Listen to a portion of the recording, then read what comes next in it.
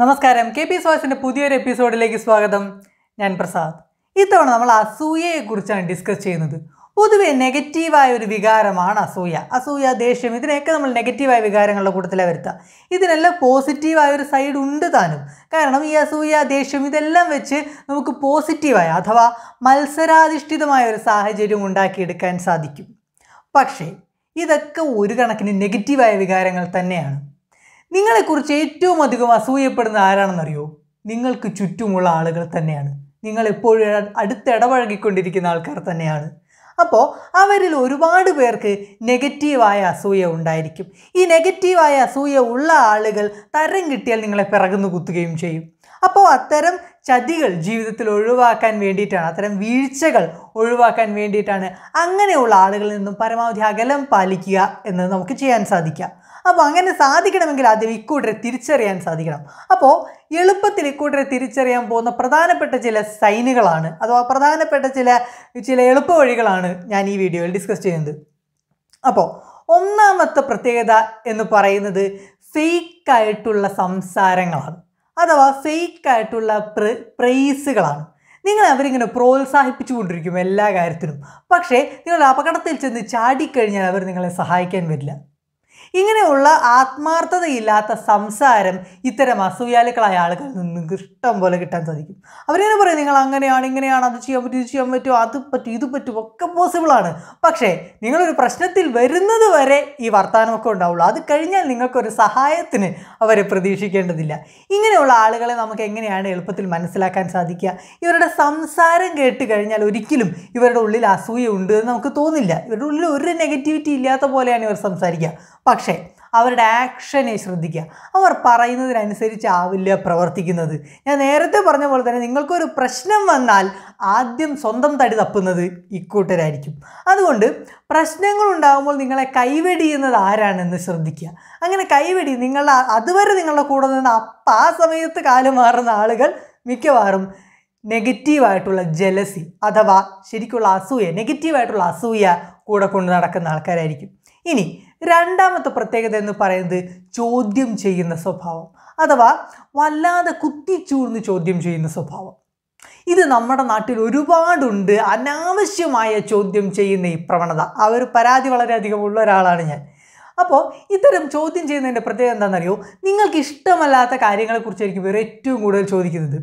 കാഷ്വലായിട്ട് നമ്മൾ ചിലപ്പോൾ പല കാര്യങ്ങളും നമ്മളുടെ സുഹൃത്തുക്കളോട് നമുക്ക് ചുറ്റുമുള്ള ആൾക്കാരോട് നമ്മൾ ചോദിക്കും. പക്ഷേ ഒരു സാമാന്യമായ ഒരു മനുഷ്യൻ ചെയ്യുന്നതെന്ന് വെച്ചാൽ ഈ ഈ ഒരു സംഗതി അഥവാ ഈ ഒരു ടോപ്പിക് അത് ഈ കേൾക്കുന്ന ആൾക്ക് ഡിസ്കസ് ചെയ്യാൻ താല്പര്യമില്ല എന്ന് തോന്നിക്കഴിഞ്ഞാൽ പിന്നെ നമ്മൾ അതിനെക്കുറിച്ച് ചോദിക്കാൻ പോകില്ല പക്ഷേ ഇത്തരം ജലസിയുള്ള ആളുകൾ ഇതിങ്ങനെ ചോദിച്ചുകൊണ്ടേയിരിക്കും. ഇങ്ങനെ ടോക്സിക് ആയിട്ട് നമ്മളിങ്ങനെ ചൂഴ്ന്നുകൊണ്ടേയിരിക്കും. അങ്ങനെ ചൂഴ്ന്നെടുക്കുന്നതിന്റെ പ്രധാനപ്പെട്ട ഉദ്ദേശം എന്ന് പറയുന്നത് അവർക്കത് അറിയാൻ വേണ്ടി മാത്രമല്ല ആ ഒരു ഇൻഫർമേഷൻ നമ്മൾ പറയുമ്പോൾ നമുക്കൊരു നെഗറ്റീവ് ഫീലിംഗ് അഥവാ നമുക്കൊരു ഫ്രസ്ട്രേഷൻ ഉണ്ടാകുന്നുണ്ട് എന്നൊരു സന്തോഷം. അവർക്കുണ്ട്. രണ്ടാമത്തെ കാര്യം ഇത്തരം നമ്മളുടെ നെഗറ്റീവായ വികാരങ്ങൾ അഥവാ നമ്മളുടെ വീക്ക്നെസ്സുകൾ ഇതെല്ലാം മനസ്സിലാക്കി നമുക്കെതിരെ ഉപയോഗിക്കാൻ ഇവർക്ക് സാധിക്കുകയും ചെയ്യും. ഇങ്ങനെ പല ഉദ്ദേശങ്ങൾ മനസ്സിൽ വെച്ചുകൊണ്ടാണ് ചിലപ്പോൾ അവർ പോലും അറിയാതെ ഇങ്ങനെ കുത്തിച്ചൂഴ്ന്ന് ചോദ്യം ചെയ്യുന്നത്. ഈ ചോദ്യം ചെയ്യുന്ന പ്രവണത ഞാൻ പറഞ്ഞല്ലോ നമ്മുടെ നമ്മുടെ ഒരു ഈ- ഒരു നാട്ടുകാർക്ക് വളരെയധികം കൂടുതലാണ്. അതുകൊണ്ടാണ് ഒരു കാര്യം ചെയ്യാൻ നമ്മൾ തുനിഞ്ഞിറങ്ങുമ്പോൾ ആ കാര്യം നടക്കുമോ നടക്കില്ല എന്നുള്ളതല്ല നമ്മൾ ചിന്തിക്കുന്നത്. നാട്ടുകാരെന്ത് വിചാരിക്കുമെന്നാണ്? ഈ സ്വേച്ഛാധിപതികളെ ഏകാധിപതികളെയൊക്കെ നമ്മൾ വെറുതെ കുറ്റം പറയാമെന്നുള്ളൂ അവർ നി അവർ ചെയ്തതിനേക്കാൾ വലിയ സ്വാതന്ത്ര്യ നിഷേധവും നീതി നിഷേധവും നാട്ടുകാരുടെ ചോദ്യം ചെയ്യലുകൾ ചെയ്തിട്ടുണ്ടെന്നുള്ളതാണ്. ഒരുപാട് സ്വപ്നങ്ങളെ തകർത്ത് കളയാനുള്ള കാരണം നാട്ടുകാരെന്ത് വിചാരിക്കും എന്ന പേടിയാണ്. ആ പേടി ഉണ്ടായത് എന്തുകൊണ്ടാണ് എന്ത് വിചാരിക്കും എന്ത് ചോദിക്കും ഇങ്ങനെ ചോദിച്ചുകൊണ്ടേയിരിക്കുകയാണ്. ആ ഒരു മനോഭാവമാണ്. അപ്പോൾ അത്തരം ജലസി ഉള്ള ആളുകൾ ഇങ്ങനെ നിങ്ങളെ ചോദ്യം ചെയ്തുകൊണ്ടേയിരിക്കും. ഇനി അടുത്ത പ്രത്യേകത എന്ന് പറയുന്നത് തെറ്റായ ഉപദേശങ്ങൾ നൽകുക. അതായത് നിങ്ങൾക്കൊരു സഹായം ആവശ്യമുള്ളപ്പോൾ അഥവാ നിങ്ങൾക്ക് ജീവിതത്തിൽ തീരുമാനമെടുക്കാൻ പറ്റാത്തൊരു സാഹചര്യത്തിലാണ് നിങ്ങൾ മറ്റുള്ളവരോട് അഭിപ്രായം ചോദിക്കുക അല്ലെങ്കിൽ മറ്റുള്ളവരുടെ സഹായം തേടുന്നത്. അങ്ങനെ സഹായം തേടുന്ന സമയത്ത് നിങ്ങളെ കുഴിയിൽ ചാടിക്കാൻ വേണ്ടി മാത്രം അഥവാ നിങ്ങളെ അപകടപ്പെടുത്താൻ വേണ്ടി മാത്രം ഒരു ഉപദേശം തന്നു വയ്ക്കുക. അങ്ങനെ നിങ്ങളൊരു സംശയം ഉണ്ടാക്കുക അല്ലെങ്കിൽ നിങ്ങളെ മനഃപൂർവം ഒരു തെറ്റിലേക്ക് തള്ളിവിടുക. ഇത് ചെയ്യുന്നത് ഇത്തരം ജലസി ഉള്ള ആൾക്കാരുടെ ഒരു സ്വഭാവമാണ്. എങ്ങനെ നിങ്ങളൊരു പ്രശ്നത്തിലേക്ക് ചെന്ന് പെട്ടാൽ അവർ നിങ്ങളെ കൈയൊഴുകുകയും ചെയ്യും? അങ്ങനെ നിങ്ങളെ മനഃപൂർവം ഒരു കുഴിയിലേക്ക് എടുത്തു ചാടിക്കാനുള്ള പ്രവണത ഈ കൂട്ടർക്ക് എപ്പോഴും ഉണ്ടാവാറുണ്ട്. ഇനി ഈ ഉപദേശ മേഖല എന്ന് പറയുന്നതിന് വളരെ വാസ്റ്റായ ഒരു ഏരിയയാണ് കാരണം നിങ്ങൾ ആരോടാണോ ഉപദേശം ചോദിക്കുന്നത് അഥവാ ഒരു അഭിപ്രായം ചോദിക്കുന്നത് അങ്ങനെയുള്ള ആളുകൾക്ക് നിങ്ങൾ ചോദിക്കുന്ന ടോപ്പിക്കിലുള്ള അറിവ് അവരുടെ മനോഭാവം അവരുടെ ഒരു ചിന്തകളുടെ നിലവാരം ഇതിനെല്ലാം അനുസരിച്ച് അവരുടെ ഉപദേശങ്ങൾക്കും അഭിപ്രായങ്ങൾക്കും വ്യത്യാസമുണ്ടാകും.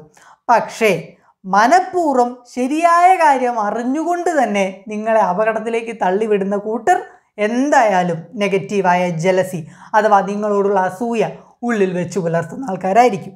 ഇനി അടുത്ത പ്രത്യേകത എന്ന് പറയുന്നത് നിങ്ങൾ ചെയ്ത കാര്യങ്ങളുടെ ഒരു പ്രോത്സാഹനം അഥവാ ക്രെഡിറ്റ് അത് നിങ്ങൾക്ക് തരാൻ മടിക്കുക. അതായത് നിങ്ങൾ ഒരുപാട് ഹാർഡ് വർക്ക് ചെയ്തു ഒരു കാര്യം ചെയ്തു. നിങ്ങൾക്കൊരു ജോലി കിട്ടി അല്ലെങ്കിൽ ജോലിയിൽ പ്രൊമോഷൻ കിട്ടി നിങ്ങൾക്ക് ഉയർന്ന റാങ്ക് കിട്ടി ഒരു ബിരുദം കിട്ടി. ഇങ്ങനെ നമ്മളുടെ ജീവിതത്തിൽ നമ്മളെ നമ്മളുടെ ആത്മവിശ്വാസത്തെ കൂട്ടുന്ന എന്തൊരു അച്ചീവ്മെന്റ് നമ്മൾ ചെയ്താലും അതിപ്പോൾ ഈ പറഞ്ഞ പോലെ ജോലി മാത്രമായിക്കോളാം. നമ്മൾ ഏതൊരു ലക്ഷ്യം നമ്മൾ നേടിയെടുത്താലും നമുക്കൊരു ആത്മവിശ്വാസം ഉണ്ടാകും. മാത്രമല്ല ആ ആത്മവിശ്വാസത്തിന്റെ ഏറ്റവും വലിയ ഒരു ബൂസ്റ്റ് എന്ന് പറയുന്നത് അത് മറ്റുള്ളവർ അംഗീകരിച്ച് കാണുമ്പോഴാണ്. അത് നീ ചെയ്തത് നന്നായി എന്ന മറ്റൊരാളുടെ ഒരു പ്രശംസ ഉണ്ടല്ലോ. അതിലാണ് നമുക്ക് ഏറ്റവും അധികം സന്തോഷം ഉണ്ടാകുന്നത്.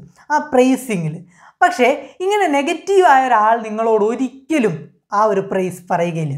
അവർ പറയുന്ന പ്രധാനപ്പെട്ട കാര്യങ്ങൾ ഇതൊക്കെയായിരിക്കും. ഈ രണ്ട് കാര്യങ്ങളായിരിക്കും. ഒന്ന് ഇതിപ്പോൾ ആർക്കും ചെയ്യാവുന്നതേ ഉള്ളൂ.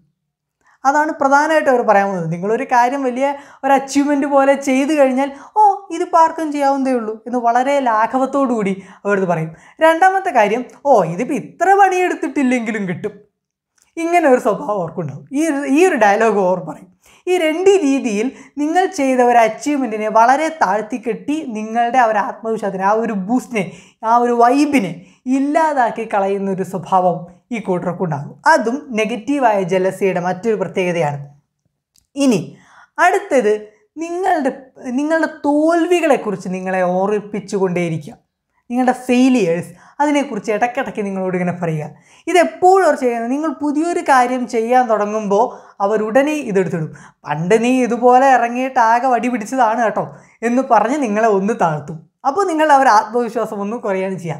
അതുകൊണ്ട് നമ്മളെപ്പോഴും നമ്മളൊരു പുതിയ കാര്യം ചെയ്യാൻ പോകുമ്പോൾ പരമാവധി നമ്മളെ സപ്പോർട്ട് ചെയ്യുന്ന ഉറപ്പുള്ള ആൾക്കാരോട് മാത്രമേ അത് പറയാൻ പാടുള്ളൂ. വലിയ വലിയ ബിസിനസ്സുകാരെല്ലാം അവരുടെ അവരുടെ അനുഭവങ്ങൾ നോക്കിയാൽ നമുക്ക് മനസ്സിലാകും. അവർ ചെയ്തുള്ള ഏറ്റവും സക്സസ്ഫുള്ളായ പ്രോജക്റ്റുകൾ അത് അവർ സ്വയം ചെയ്തു തുടങ്ങിയതായിരിക്കും. അതായത് അതിന്റെ സ്റ്റാർട്ടിങ് സ്റ്റേജിൽ അത് മറ്റു ആരോടും അവർ ഡിസ്കസ് ചെയ്തിട്ടുണ്ടാവില്ല. കാരണം അങ്ങനെ ഡിസ്കസ് ചെയ്താൽ ആത്മവിശ്വാസം കുറയുമെന്ന് അവർക്കറിയാം. പല കമ്പനികൾ തുടങ്ങിയ സംരംഭകരെല്ലാം ഇത് തുറന്ന് സമ്മതിച്ചിട്ടുണ്ട്. മറ്റുള്ളവരോട് പരമാവധി ഡിസ്കഷൻ കുറയ്ക്കുക. ഇനി ഡിസ്കസ് ചെയ്യുകയാണെങ്കിൽ തന്നെ നിങ്ങളുടെ അതേ പോയിന്റ് ഓഫ് വ്യൂ അതേ നിലപാടുകൾ അതേ ചിന്താഗതികൾ ഇതൊക്കെ ഷെയർ ചെയ്യുന്ന ആൾക്കാരുമായിട്ട് മാത്രം അത് ഡിസ്കസ് ചെയ്യുക. അല്ലാത്തവരോട് ചോദിച്ചാൽ തീർച്ചയായിട്ടും നിങ്ങളുടെ ആത്മവിശ്വാസം ഇല്ലാതാവുകയാണ് ചെയ്യുക. അതിന്റെ പ്രധാനപ്പെട്ട കാര്യം ഒന്നുകിൽ അറിവില്ലായ്മയായിരിക്കാം. അത് സാരമില്ല. പക്ഷേ മറ്റൊരു പ്രധാനപ്പെട്ട കാരണം ഈ ജലസി ആയിരിക്കും. നിങ്ങൾ രക്ഷപ്പെടുമോ എന്നൊരു പേടിയായിരിക്കും. അതിന് ജലസി ഉള്ള ആൾക്കാർ നിങ്ങളെ എന്തായാലും നിങ്ങളുടെ ആത്മവിശ്വാസത്തെ എങ്ങനെയെങ്കിലും തകർക്കാനൊരു താപ്പ് കിട്ടിയാൽ അത് ചെയ്യുകയാണ് ചെയ്യുക. ഇങ്ങനെയാണ് നെഗറ്റീവായ ജലസി ഉള്ള ആളുകൾ നിങ്ങളുടെ ജീവിതത്തിനെ ദോഷകരമായി ബാധിക്കുന്നത്. അതുകൊണ്ട് ഇത്തരം ആളുകളിൽ നിന്ന് പരമാവധി അകലം പാലിക്കുക എന്നാണ് നമുക്ക് ചെയ്യാൻ സാധിക്കുക. ഇനി ഈ ഒരു ജലസി ഉണ്ട് എന്ന് ചോദിച്ചാൽ അവർ വില്ലന്മാരാണെന്നോ ജീവിതത്തിൽ ക്രൂരന്മാരാണെന്നോ എന്നൊന്നും അർത്ഥമില്ല. അതവരുടെ നേച്ചർ മാത്രമാണ്. അപ്പോൾ അതിനനുസരിച്ച് ഒരകലം പാലിക്കുക എന്ന് മാത്രം. ഞാൻ നേരത്തെ പറഞ്ഞ പോലെ ഏതൊരു വികാരത്തിനും അതിന്റേതായ പോസിറ്റീവ് സൈഡും അതിന്റേതായ നെഗറ്റീവ് സൈഡും ഉണ്ട്. പക്ഷേ നെഗറ്റീവായ സൈഡുകൾ അത് എന്തായാലും ശരി നമ്മൾ ഒഴിവാക്കുക തന്നെ വേണം. അപ്പോൾ അതുകൊണ്ട് അത്തരം ആളുകളെ ഒഴിവാക്കാൻ നിങ്ങളെ സഹായിക്കുന്ന ചില ടിപ്സാണ് ഇത്തവണ നമ്മൾക്ക് എപ്പിസോഡ്സിൽ ഡിസ്കസ് ചെയ്ത്. പ്രിയപ്പെട്ടവർക്ക് വീഡിയോ ഇഷ്ടപ്പെട്ടാൽ ഈ ചാനൽസിനെ സപ്പോർട്ട് ചെയ്യുക സബ്സ്ക്രൈബ് ചെയ്യുക. Thank so much.